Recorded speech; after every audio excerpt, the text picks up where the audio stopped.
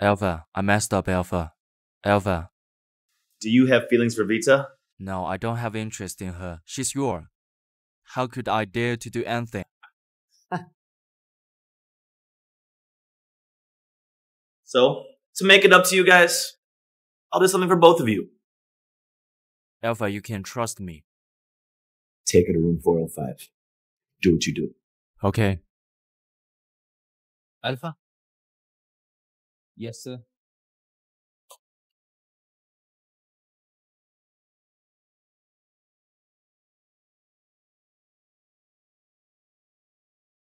So, you're awake now.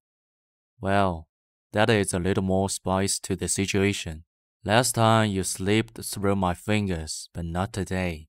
Consider it a bandage of honor to have caught my attention. Let me go, let me go! You damn woman, you are testing my patience. Let go! Testing my patience.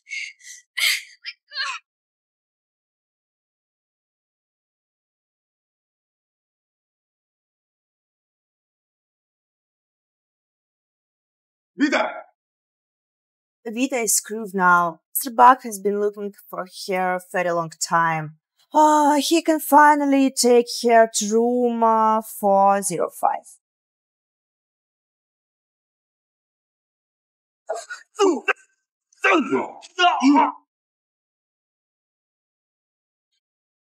Frank! Thank you! It's okay.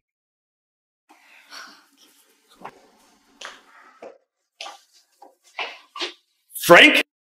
Derek, you do this. So what? When will you stop torturing me? Why don't you just end my life? I'll decide that. But the debt that you owe to my family, you'll never repay. I owe you nothing. Frank, let's go. Vita. Let me take care of you from now.